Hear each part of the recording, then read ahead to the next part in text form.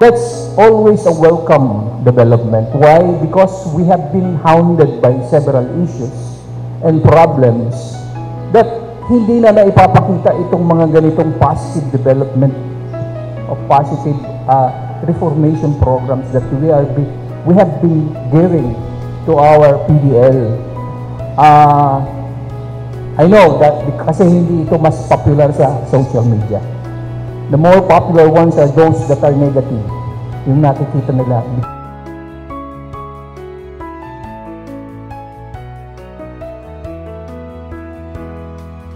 On behalf of the uh, Director General of the Bureau of Corrections, General uh, Gregorio Pio Katapan Jr., I would like to welcome you all for this uh, graduation ceremony and may you uh, continue to grow. Hindi lamang ito, mukhang ma- may mga dapat pangumpupo dyan. So, ah, gusto po natin uh, ma-replicate po lahat ito sa lahat ng uh, penal forms ng ating uh, nasasakupan uh, of the Bureau of Corrections. Uh, um, yun na lang po at ma- maraming maraming sa amin salamat po. Um, we can only do so much because the true test of future progress is the willingness of every each of one of us to embrace reforms through our rehabilitation. Thank you po. On behalf of my school's division superintendent that I represent now as the Curriculum Implementation Division Chief, na kayo ay nakatapos at nakakumpleto ng batayang curriculum na iniatas ng kagawaran ng edukasyon at kayong lahat ay binabati ko sa araw na ito. Mabuhay po kayong lahat.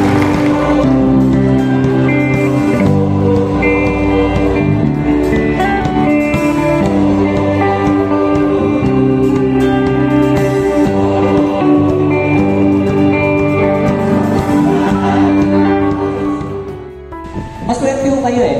Nakakabili. Alam niyo kung bakit? Kasi karamihan sa laya, may pera sila, may panahon para sa pag-aaral, pero hindi sila nag-aaral. Kayo, hindi hadlang yung pangukulungan. Ito ngayon, no, tumatanggap kayo ng karangan. Sana, sana po ipagpatuloy niyo yan.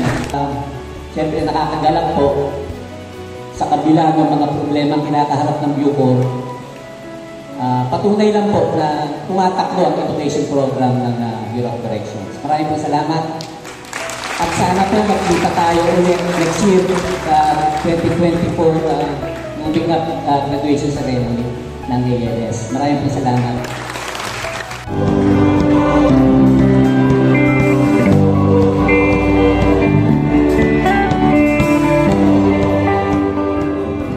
Hindi ko po alam kung ano po yung mga kadahilan kung bakit po nakarating po yung bawat isa sa atin dito po sa Bureau of Corrections. Ang bawat isa po ay may unique na kwento. Sabihin nyo nga po, unique.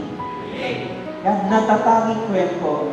At ganoon din po yung bawat sa atin dito, na ibang iba po yung kwento sa buhay. Naniniwala po ako na bagamat iba-iba man po yung kwento natin, ang bawat isa po sa atin ay mahal po ng Diyos. At may pagkakataon po na makabawi po sa buhay.